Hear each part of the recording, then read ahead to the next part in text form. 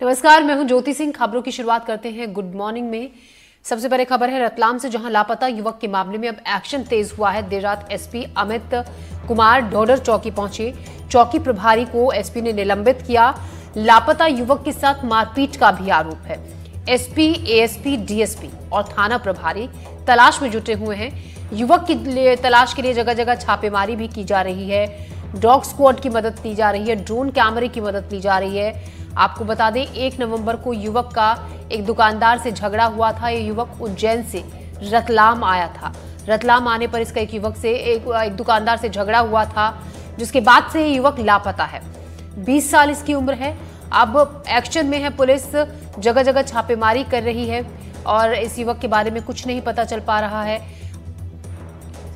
उज्जैन से रतलाम पहुँचने पर एक दुकानदार के साथ इसका झगड़ा हुआ था। साजिद खान इस खबर पर ज़्यादा जानकारी के साथ जुड़ गए साजिद, क्या कुछ पता चला है युवक के बारे में? पुलिस की तेज़ी ज़रूर एक्शन में दिख रही है। पुलिस जगह जगह छापेमारी भी की जा रही है। कई टीमें गठित की गई हैं। फ़िलहाल क्या ताज़ा अपडेट है? जी, देखिए, ये मामला जो है कल ही सामने आया है और देर रात की बात है। जब रतलाम एसपी को इस पूरे मामले की जानकारी मिली तो तत्काल सबसे पहले जो है उन्होंने जो चौकी प्रभारी है, कन्हैया अवस्था रतलाम का डोडर थाना रिंगनौर थाना क्षेत्र का मामला है, डोडर चौकी पड़ती है। और वहाँ पर जो है, एक तारीख को जो है, उज्जैन से कुछ दोस्त जो है, वह इस तरफ़ आए थे और यहाँ पर डोडर में उनका कुछ विवाद हुआ। उसके बाद बताया जा रहा है कि वो खाना खाने गए तो जो जिनसे विवाद हुआ था तो वही लोग जो है, वो वहाँ ढाबे पर पहुँचे और वहाँ उनके साथ मारपीट की गई। मारपीट के दौरान जो है सभी युवक जो है, जो इनके भाग गए, लेकिन उनका वाहन जो है, वो ढाबे पे ही खड़ा था।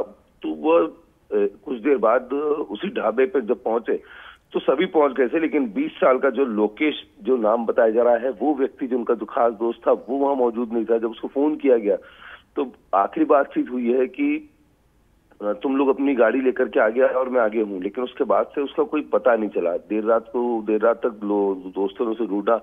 अगले दिन जो है, दो तारीख को इस मामले की जो है, एफआईआर की गई।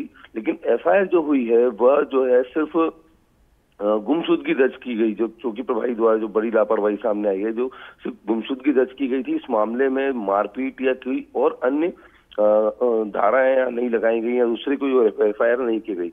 और अब जो है चार दिन बाद पूरा मामला सामने आया है तो देर रात ही जो है रतलाम एसपी, एडिशनल एसपी सहित तमाम लोग पहुँचे हैं। ड्रोन कैमरे लेकर के गए गए, वहाँ डॉग स्क्वाड गए और तकरीबन 200 से अधिक का जो है पुलिस बल वहाँ पर पहुँचा है। लड़के की जो युवक है, उसकी खोजबीन की जा रही है। रात भर चली है। खुद रतलाम एसपी अमित कुमार ने संभावित जो जगह थी, वहाँ पर रेड की है। लेकिन अभी तक इस मामले में पुलिस को कोई कामयाबी नहीं मिली और अभी भी जो टीमें हैं वह आसपास के क्षेत्रों में जो है, उसको ढूंढ रही हैं, लोगों से जो है पूछताछ की जा रही है। जी। जी। तो अभी फ़िलहाल पुलिस पूरे मामले की जाँच पड़ताल में जुटी हुई है। लगातार कोशिश की जा रही है दबे दी जा रही है जगह जगहों पर। युवक की तलाश के लिए साजिद नज़र रखिएगा खबर पर। हम ताज़ा अपडेट लगातार आपसे लेते रहेंगे। फ़िलहाल अभी तक युवक के बारे में कोई भी जानकारी पुलिस के हाथ नहीं लगी है।